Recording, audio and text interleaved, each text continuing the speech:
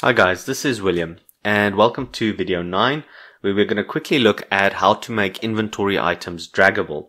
So what that means is you will have an inventory object that you will click on and your actual mouse cursor then will change to the picture of that inventory item which allows you then to, to use it in the scene. Okay, so I have a key, I click on the key from my inventory and that then changes into the key picture and that becomes my active cursor like you've seen in many adventure games. So what we're going to do first, we need to enable specific settings for this functionality to occur. So the first place we need to go is to the interfaces right there. And then I'm going to click on cycle icon interface, click on walk to because the walk to is my mouse cursor. If I go to the cursors and I choose walk to, see there, that's my mouse cursor. That's the one I want to, uh, that should be the active command. I click on the inventory item and then my inventory, my mouse cursor changes into that inventory item. So back in the interfaces, walk to, I'm going to click on command properties and I need to tick items can be dragged with this command. So ensure that is ticked. That's the first thing you need to do. Okay.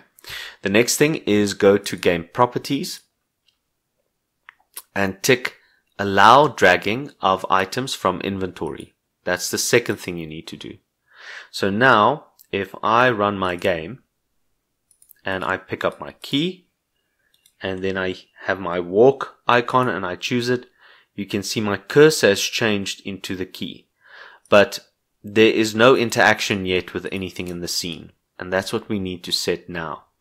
So go back to your scene and I'm going to choose hallway and then the door. That's where I'm going to have this interaction occur. So I am going to add a new action and I'm going to choose the command as walk to and then here on the item I'm going to see say key. So when we use the key with the door, something will occur. But there's one more thing we need to set here, and that is the execution type. It needs to be set to item dropped. If it's not, it will not work, right? So now I'm just going to add my display text and say door is unlocked.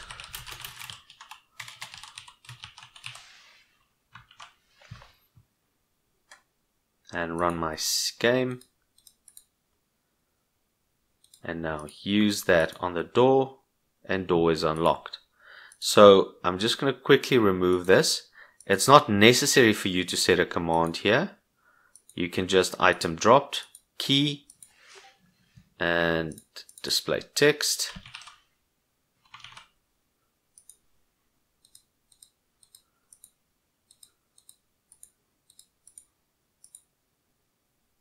And there we go. So not strictly necessary to, to put a command in there, but just item dropped key.